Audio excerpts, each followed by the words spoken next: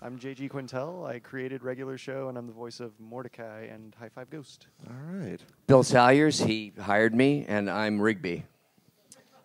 Sam Marin, and I'm the voice of Benson and Pops and Muscle Man.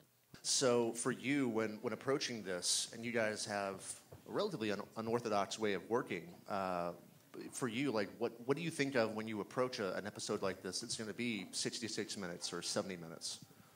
Well, because we've done so many things in the show that are pretty epic, we tried to find something that we hadn't really done yet, Yeah. and that's when we kind of hit on the Mordecai and Rigby relationship being in danger. I mean, they fight all the time, but they're like solid friends, so we've never seen them almost not be friends, and we Mhm. wanted to kind of explore that. For the regular show, we we write with this game where we throw fake titles into a hat and then we draw them out of the hat and we put a timer for two minutes and then you try to write as much of an episode as you can based on that title.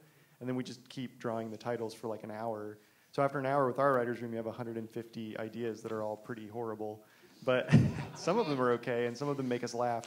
And so we'll kind of write based on those and that's what turns into episodes those nuggets. And so we kind of employed that process too for the movie What was your favorite animated show growing up? Favorite animated show? Let's go down the line. Um, I really was a big fan of Beavis and Butthead. Yeah. I really liked Ren and Stimpy. I really liked Rocko's Modern Life, and I was really pumped um, to get to work on Camp Lazlo because I got to meet Joe Murray and work with him a little bit. It was really cool. I'm old school, so for me it was Bugs Bunny. It was like you know that that classic kind of like uh, I think he formed the uh, the sense of humor for a whole generation of people, and that was me. I think the, the animated Batman series Ooh. from the 90s. How did you get the idea for regular show? Yeah. It's uh, it's based off of me and my friends in college. So um, two of a lot of the characters come from shorts that I did while I was in college, and then I put it all together to make regular show. And all the stuff you see in regular show, like Mordecai and Rigby going, and like what, like all that stuff, we did that in college. That was us for real. And now I can't do it because it looks like I'm copying the cartoon. So. What gave you the idea of the movie? the writers game the, we like came up with it in the writers room a lot and then also the the concept of the rigby betraying mordecai but in a way that you could understand why he would do it like i wanted to make sure it wasn't just him being a jerk but that he was afraid of losing his best friend because you could understand where he was coming from even though it's like a horrible thing but rigby always does horrible things so Wait, what? it made What? sense it made sense he would do something that bad How did you guys come up with the character, the Death Kwon Do instructor? i love your costume by the way Thank you. Seems like your favorite Also, will you character. sign my notebook of, Of death? Of course, of course. Um, that again, it's like the writer's game. It was probably like, oh, Rigby wants to, you know, beat Mordecai at punchies because he's so weak, and so he goes to this like weird karate instructor that's like Death Kwon Do. And Sam, you're the voice of that guy, right? You are not worthy of the art of Death Kwon Do. If you had to pick Mordecai or Rigby, which one do you think you would pick? Ooh. Oh. I think there's some bias in the Yeah, panel. I'm gonna have to pick Mordecai. This is not going to go uh, surprisingly. Um, I would pick mm, Rigby. Sam, you're the decider. No, no pressure from your boss. This isn't fair.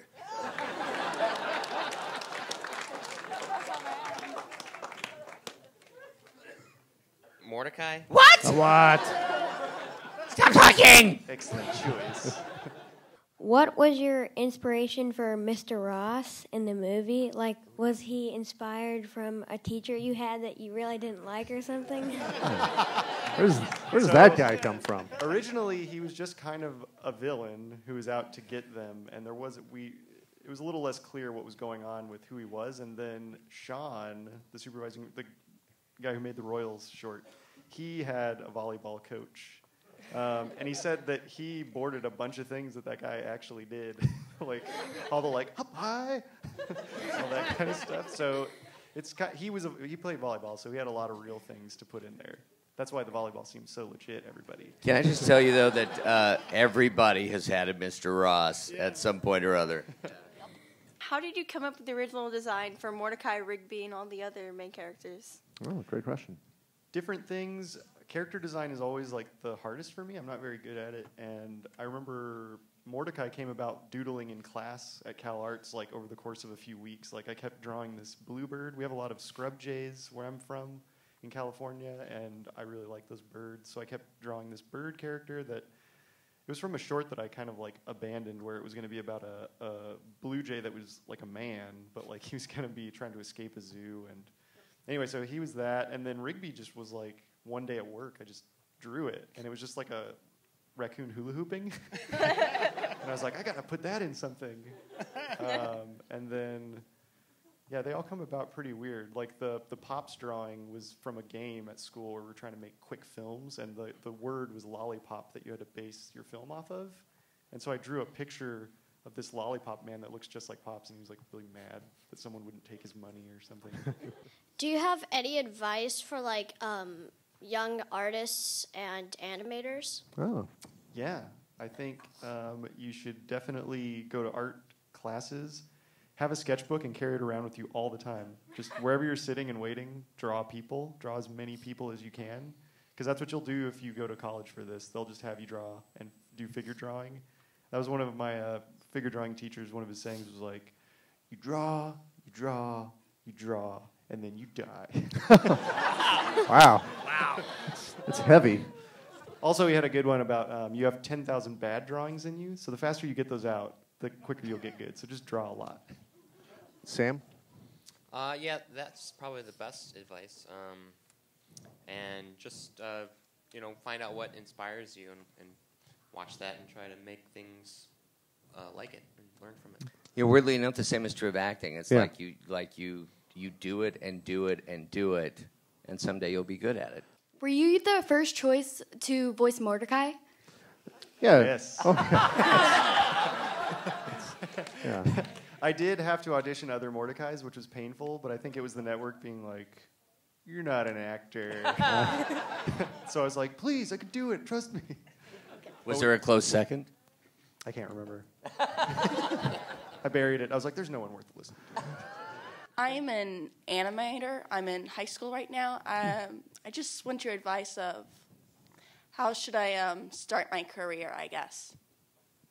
Well, if you're already doing it, I definitely would say it's worth going to college um, Alright. to just focus like solely on it. Because definitely in high school you have a lot of classes that you still have to keep up with that you're probably annoyed by.